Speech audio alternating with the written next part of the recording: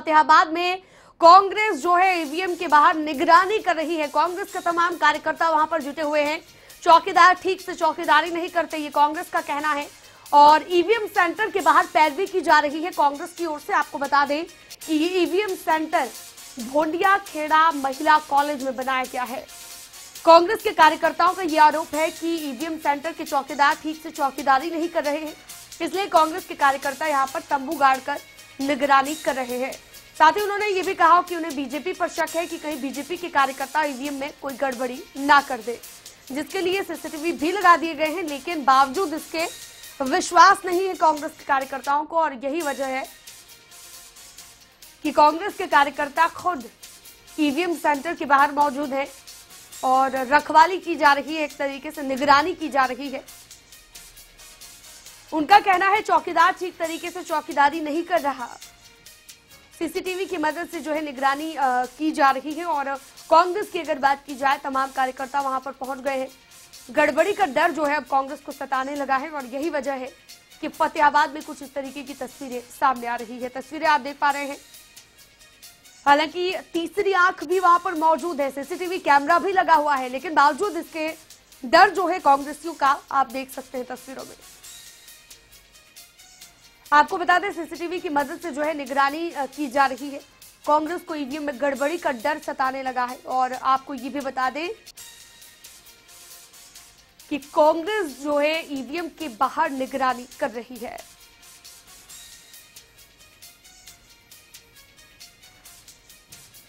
चौकीदार ठीक तरीके से चौकीदारी नहीं कर रहा, ये कहना है कांग्रेस के कार्यकर्ताओं का। और कांग्रेस के कार्यकर्ता खुद ईवीएम सेंटर के बाहर पहुँच गए हैं और लगातार निगरानी कर रहे हैं। ज़ाहिर सी बात है, कांग्रेसियों को जो है डर सताने लगा है। ईवीएम में कोई गड़बड़ी ना हो जाए हालाँकि इससे पहले भी सवाल उठाए जा चुके हैं कांग्रेस की ओर से ईवीएम को लेकर, लेकिन अब जो है उन्हें बीजेपी से डर लग रहा है कि कहीं बीजेपी किसी तरह की कोई गड़बड़ी ईवीएम में ना करते।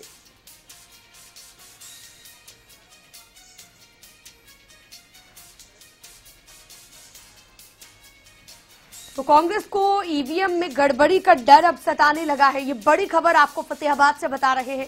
कांग्रेस जो है ईवीएम के बाहर निगरानी कर रही है और साथ ही आपको ये भी बता दें, चौकीदार ठीक तरीके से चौकीदारी नहीं करते, ये कांग्रेस के कार्यकर्ताओं का कहना है। और कांग्रेस का कहना है, सीसीटीवी की मदद से निगरानी की जा रही है, लेकिन बावजूद इसके डर जो है कांग्रेसियों का सामने आया है।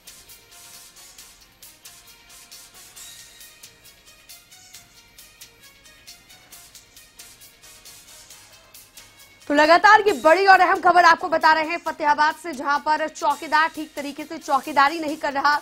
ये कांग्रेस के तमाम कार्यकर्ताओं का कहना है, आपको बता दें कि लोकसभा चुनाव को लेकर ये हलचल देखने को मिल रही है, और अगर हरियाणा की बात की जाए तो जब से मतदान संपन्न हुआ है, उसके बाद से कांग्रेस को ये डर सता रहा है।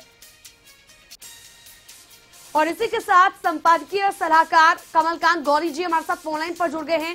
कमलकांत जी, अगर इस पूरे मामले को देखा जाए, जिस तरीके से अब कांग्रेस के कार्यकर्ता यहाँ पर आकर निगरानी कर रहे हैं, क्या समझा जाए? कांग्रेस को डर सता रहा है कि कोई गड़बड़ी बीजेपी की ओर से ना कर दी जाए?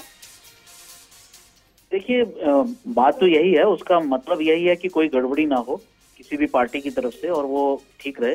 लेकिन इसमें कोई बुराई भी नहीं है, अगर उनकी इससे संतुष्टि होती है कि हम खड़े रहें वैसे तो सीसीटीवी कैमरे लगे हुए हैं। और ऐसा कोई आरोप अभी स्पष्ट रूप से कभी आया नहीं है कि ईवीएम बदल दी गए हों। ऐसे आरोप बहुत लगते रहे हैं लेकिन कभी कोई प्रूफ के साथ या पुख्ता किसी ने इस चीज़ का सबूत नहीं दिया है कि ऐसी कोई घटना हुई हो। लेकिन फिर भी अगर कांग्रेस को ऐसे लगता है जब जींद का उपचुनाव हुआ था उस समय जेजेपी ने भी वहाँ एक तंबू गाड़ा था और उस तंबू के अंदर वो देखते रह, अपना देखते थे कि कोई आता आ रहा है या नहीं आ रहा है। हम्म। तो इसमें कोई बुराई नहीं है। अगर कांग्रेस को इससे संतुष्टि होती है क्योंकि अशोक तंवर जी ने यह बयान दिया था चुनाव के बाद कि अगर ईवीएम को कुछ हुआ तो हम आग लगा देंगे वगैरह। हम्म। हालाँकि ऐसा बयान इतने बड़े अधिकारी से नहीं आना चाहिए। लेकिन फिर भी अगर उसकी इसमें उनकी इसमें संतुष्टि होती है कांग्रेस पार्टी की और अशोक तंवर जी की तो इसमें कोई बुराई नहीं है वो कर सकते हैं। जी।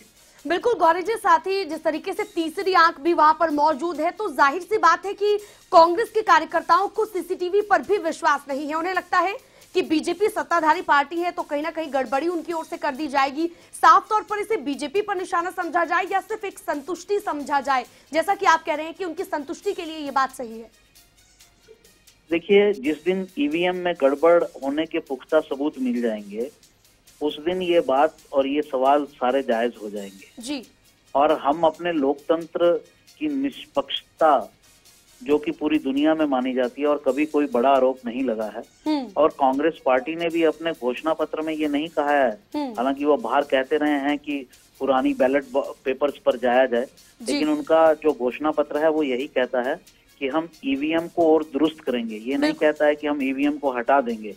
तो ईवीएम जो है वो सबसे दुरुस्त व्यवस्था है अब तक की। जब बैलेट पेपर होते थे तो गरीबों को महिलाओं को जो वंचित वर्ग होता है जो दलित वर्ग होता है उनको वोट नहीं डालने दिया जाता था। दबंग होते थे क्योंकि उस पर फर्जी वोट डालना बहुत आसान होता था। ईवीएम में फर्जी वोट डालना बिल्कुल आसान नहीं है। एक वोट डालने के बाद उसको रीसेट करना पड़ता है। वो रीसेट करना जो दबंग है उनको आता नहीं है या उसमें इतना समय लग जाता है कि उस पर फर्जी वोटिंग नहीं हो सकती है। तो उसी को दुरुस्त किया जा सकता है। तो ईवीएम पर कांग्रेस का ये एक चुनावी नारा इसको माना जाए आज तक किसी ने कोई पुख्ता सबूत इस बात का नहीं दिया है हम्म। कि ईवीएम से चुनाव का परिणाम बदला गया क्योंकि पिछले दिनों में जितने भी चुनाव हुए हैं उनमें कांग्रेस भी जीती है और बीजेपी भी जीती है हम्म। अब ये कहना कि कांग्रेस को तीन के तीन राज्यों में जिता दिया गया एस्टेब्लिश करने के लिए ये सब चुनावी नारे हैं और जनता को इसमें नहीं पड़ना चाहिए क्योंकि जनता के लिए ईवीएम ही सही है और बैलेट पेपर का सिस्टम बिल्कुल सही नहीं है। बैलेट पेपर में जितना कमज़ोर वर्ग होता है इंक्लूडिंग महिलाएँ इंक्लूडिंग दलित इंक्लूडिंग गरीब जिनको दबाया जा सकता है वो सब दबंग उनको दबाते थे वहाँ गुंडागर्दी होती थी और ये जितना दबा कुचला वर्ग है ये अपने घर पर बैठ जाता था वोटिंग नहीं करता था। जब से ईवीएम आई है तब से आप देखिए कि परसेंटेज ऑफ़ वोट भी बढ़ने लगा है।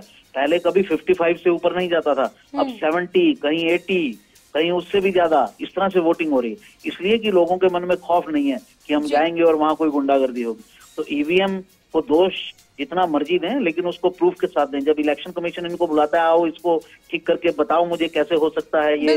सब गड़बड़ी। तो लेकर इनमें जब से सवाल एक पार्टी किए वहाँ जाते नहीं पहुँचती है। कि आकर हैक करके दिखाया जाए ईवीएम को जब ऐसे सवाल उठाए जाते हैं बिल्कुल सही कहा आपने। बहुत बहुत शुक्रिया आपका, कमलकांत गौरी जी हमारे साथ जुड़े थे, सलाहकार, संपादक और ईवीएम को लेकर सवाल तो कांग्रेस उठाती है, लेकिन ये सवाल कितने जायज़ है? इन्हें लेकर खुद एक सवाल अभी तक बरकरार है और कांग्रेस के मन में ये डर है कि कहीं गड़बड़ी जो है ईवीएम में न की जाए। इसके लिए ईवीएम सेंटर के बाहर कांग्रेस के कार्यकर्ता पहुँचे हैं निगरानी करने के लिए।